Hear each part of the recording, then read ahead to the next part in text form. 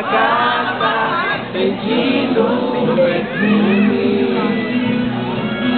Mas que fazer com essa dor que me invade? Mato esse amor ou me mata o ciúme?